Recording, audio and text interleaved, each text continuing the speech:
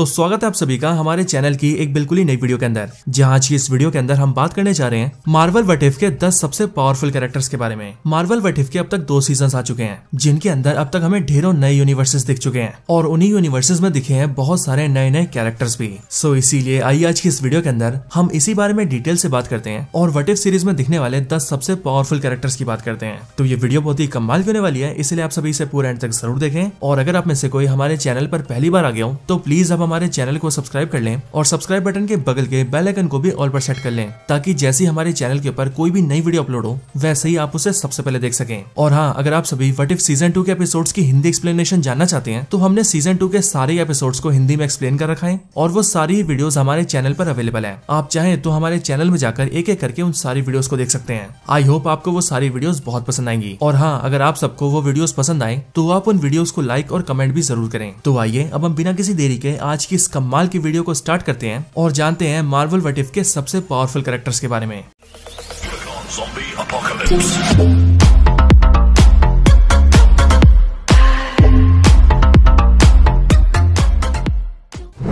Number ten captain Carter तो Margaret Elizabeth Carter यानी कि पैगी कार्टर एमसीयू में एक शील्ड एजेंट होती है। जो कि स्टीव रोजर्स के सुपर सोल्जर बनने के बाद उसके कई सारे मिशन में उसका साथ देती है। लेकिन अगर हम बात करें मार्वल वटिफ यूनिवर्स की तो वटिफ सीरीज़ के अंदर कैप्टन कार्टर एक ऐसे यूनिवर्स से बिलोंग करती है, जहाँ पर वो एक सुपर सोल्जर बनती है और ठीक कैप्टन अमेरिका की तरह ही कैप्टन कार्टर का टाइटल होल्ड करती है। कैप्टन कार्टर एक बहुत ही पावरफुल कैरेक्टर है, जो कि ना सिर्फ़ फिजिकली स्ट्रॉन्ग और ड्यूरेबल है, बल्कि वो हर तरह के बैटल कॉम्बेट्स भी जानती है। हालाँकि इस टॉप टेन की लिस्ट के अंदर आगे आने वाले कैरेक्टर्स कैप्टन कार्टर से भी बहुत ज़्यादा पावरफुल है, लेकिन तब भी कैप्टन कार्टर इस लिस्ट के अंदर अपनी जगह इसीलिए डिजर्व करती है, क्योंकि वटिफ सीरीज़ के अंदर उसने कुछ ऐसे काम भी किए हैं, जो कि उसकी फ़िज़िकल स्ट्रेंथ से भी बियॉन्ड थे। जैसे कि अपने यूनिवर्स के अंदर, एक बड़े से ऑक्टोपस जैसे मॉन्स्टर को हराना, उसे वापस पोर्टल में धकेलना फ्यूचर टाइमलाइन में आके एवेंजर्स का साथ देकर लोकी जैसे बड़े थ्रेट को हराना, और सीज़न वन के एंड में गार्डन ऑफ़ द मल्टीवर्स का हिस्सा बन के इन्फिनिटी अल्ट्रॉन का सामना करना। लेकिन इनके भी ऊपर कैप्टन कार्टर सीज़न टू के अंदर और भी कई बड़े काम कर चुकी है। और वो इसीलिए क्योंकि सीज़न टू के अंदर कैप्टन कार्टर काहोरी के साथ मिलकर स्ट्रेन सुप्रीम जैसे मोस्ट पावरफुल कैरेक्टर का भी सामना कर चुकी है। सो so, इसीलिए अब इतने ज़्यादा बैटल एक्सपीरियंस के बाद कैप्टन कार्टर इतनी ज़्यादा कैपेबल बन चुकी है कि इसके दम पर वो आगे भी इसी तरह से कई सारे मल्टीवर्सल थ्रेट का सामना कर सकती है।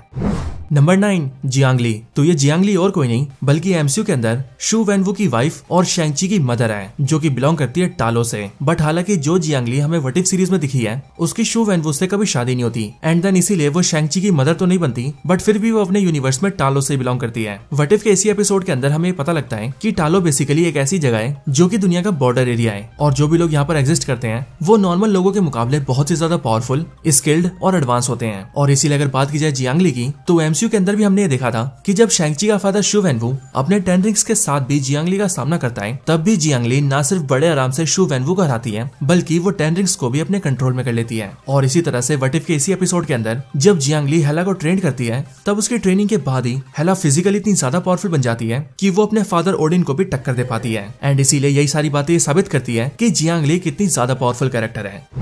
Number eight what if Star Lord तो जब तक तो हमने स्टार लॉर्ड को सिर्फ़ एमसीयू में देखा था, तब तक हम में से ज़्यादातर लोगों को सिर्फ़ यही लगता था कि ये स्टार लॉर्ड ना सिर्फ़ आधा सेलेस्टियल है, बल्कि दिमाग से आधा पैदल भी है। और इसीलिए ना तो इसके कुछ बस का है, और ना ही ज़्यादा ये कुछ कर सकता है। लेकिन सबका परसेप्शन तब चेंज हो गया, जब हमने इसी स्टार लॉर्ड को वटिफ के अंदर देखा। मार्वल वटिफ के सीज़न टू के एपिसोड टू के अंदर, हमें स्टार लॉर्ड का एक ऐसा वर्जन दिखाया गया, जिसे योंडो ने किडनैप करके उसके फादर ईगो को सौंप दिया। एंड देन उसके फादर ईगो ने स्टार लॉर्ड के अंदर की पावर्स को एक्टिवेट कर दिया, जिसके बाद जाकर हमें एक ऐसा स्टार लॉर्ड दिखा, जो की अकेले पूरे प्लेनेट तक को तबाह करने की ताकत रखता था। ये स्टारलोड अकेले एवेंजर्स की पूरी टीम को ढेर कर देता है। और सिर्फ़ यही नहीं, बल्कि इसके आगे, जब इसका फादर ईगो इसके सामने आता है, जो की एक पूरा सेलेस्टियल होता है, तब उस टाइम भी ईगो के सील्डिंग को यूज़ करके ये ईगो को भी खत्म कर देता है, जो की स्टिल एक बहुत बड़ी बात है। और ये सब कुछ ये तब करता है, जब ये दस ऐसी बारह साल का होता है।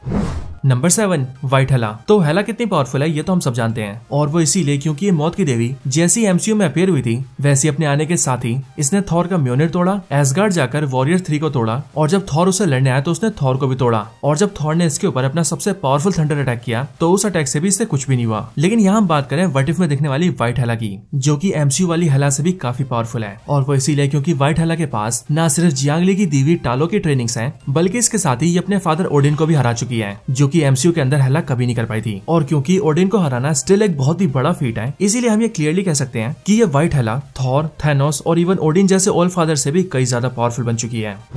Number six, zombie Scarlet Witch. तो केओस मैजिक की यूज़र स्कारलेट विच पूरी दुनिया की सबसे पावरफुल मैजिशियन है। यहाँ तक कि डॉक्टर स्ट्रेंज से भी ज़्यादा पावरफुल और Doctor Strange in the Multiverse of Madness के अंदर भी हमने देखा हुआ है कि अगर स्कारलेट विच अपनी पूरी पावर्स को यूज़ करें तो वो न सिर्फ़ डॉक्टर स्ट्रेंज बल्कि उनके साथ साथ पूरे कामर ताज को अकेले लटा सकती है। लेकिन तब भी यहाँ हम बात करें जोम्बी स्कारलेट विच की, यानी कि एक ऐसी स्कारलेट विच जो कि जोम्बी होती है। और इसीलिए जोम्बी स्कारलेट विच न सिर्फ़ energy manipulation reality warping telepathy telekinesis और माइंड कंट्रोल जैसे काम कर सकती है बल्कि अब जोम्बी बनने की वजह से ये स्कारलेट विच वर्चुअली मोटल भी है विच मीन नॉर्मल कंडीशन के अंदर इसे मार पाना ऑलमोस्ट इम्पॉसिबल सी बात है। And that's why zombie Scarlet Witch इतनी ज़्यादा पावरफुल है की वो मार्वल वटेव के ज़्यादातर कैरेक्टर्स को अकेले खत्म कर सकती है।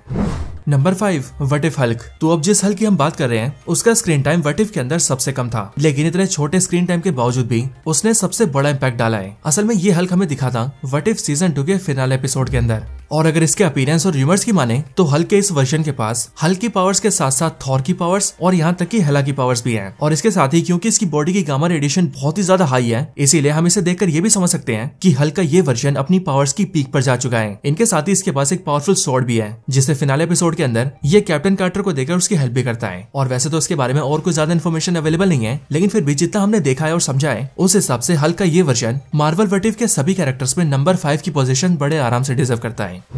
नंबर फोर इन्फिनिटी किलमोंगर तो वैसे तो बेसिकली किलमोंगर एक काफ़ी बेसिक सा सुपर हीरो है, जिसके पास सुपर ह्यूमन स्ट्रेंथ है सुपर ह्यूमन ड्यूरेबिलिटी है, और कई और सुपर ह्यूमन एबिलिटीज के साथ साथ एक पावरफुल वाइब्रेनियम का सूट है, जिसे पहनने के बाद वो ऑलमोस्ट ब्लैक पैंथर जितना पावरफुल बन जाता है। बट यहाँ पर हम जिस किलमोंगर की बात कर रहे हैं, वो किलमोंगर है इन्फिनिटी किलमोंगर यानी कि वट इफ़ में दिखने वाला वो किलमोंगर जो कि सारे इन्फिनिटी स्टोन्स को इकट्ठा कर लेता है, और फिर उसे अपनाने के बाद वो बनता है इन्फिनिटी किलमोंगर और अगर इसकी पावर्स की बात की जाए तो ये किलमोंगर भी लगभग उतना ही पावरफुल है, जितना पावरफुल हमें इन्फिनिटी अल्ट्रॉन दिखाया गए है। और इसके साथ ही जब ये वटिफ सीज़न टू के फिनाले में अपियर होता है, तब वहाँ पर भी हमने साफ़ देखा था कि ये अपने सिर्फ़ एक ही स्नैप से ही थैनोस जैसे पावरफुल बींग को भी धूल बना देता है, जो कि स्टिल इसकी पावर्स को शो करती है।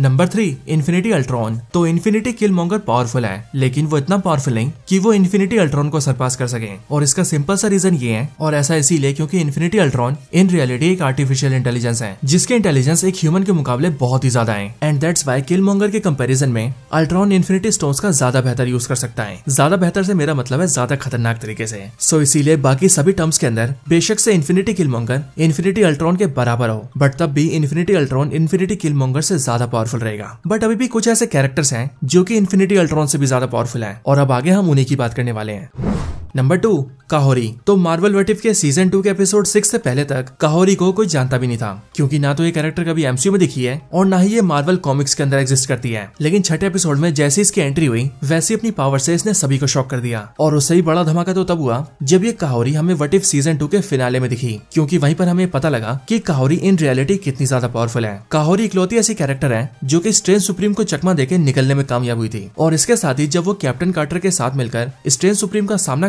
है, तब उस टाइम पर भी वो स्ट्रेन सुप्रीम के ऊपर काफ़ी भारी पड़ती है। लेकिन काहोरी की असली पावर्स तो हमें तब दिखी, जब उसका सामना इन्फिनिटी किलमोंगर से हुआ था। बट वहाँ पर हमने देखा कि काहोरी ने पलक झपकते ही इन्फिनिटी किलमोंगर को हरा दिया, क्योंकि इससे पहले की किलमोंगर उनके ऊपर अटैक करता काहोरी ने किलमोंगर को उसके सूट से गायब कर दिया और एक दूसरी जगह पर भेज दिया, जिस वजह से जो इन्फिनिटी किलमोंगर एक सेकंड पहले मल्टीवर्स के सबसे पावरफुल बींग्स में गिना जाता था, वो अगले पल एक आम सा सुपर हीरो बनकर रह गया। एंड इसीलिए अगर देखा जाए तो अभी तक पूरे मार्वल वटिफ के अंदर शायद ही ऐसा कोई कैरेक्टर होगा जो कि काहोरी से ज़्यादा पावरफुल होगा। बट तब भी एक ऐसा कैरेक्टर है जो कि बिना किसी डाउट के काहोरी से ज़्यादा पावरफुल है। बट हाँ उसकी बात करने से पहले हम एक ऐसे कैरेक्टर की बात करने जा रहे हैं जो कि वैसे है तो बहुत ही पावरफुल बट फिर भी वो हमारी लिस्ट में नहीं आ पाया। और वो कैरेक्टर है वॉचर और वॉचर को लिस्ट में न डालने का सिंपल सा रीजन यही है कि वॉचर ने कभी भी अपनी पावर्स को शो ही नहीं किया है। सो दैट्स वाई हम ये जानते ही नहीं है कि वॉचर इन रियलिटी कितना ज़्यादा पावरफुल है। एंड इसके भी ऊपर वॉचर ने हमेशा से ही अपने आप को सभी यूनिवर्सिटी से अलग रखा है। सो इसीलिए हमने भी वॉचर को इस रैंकिंग से अलग कर दिया है तो चलिए अब बात करते हैं नंबर वन की।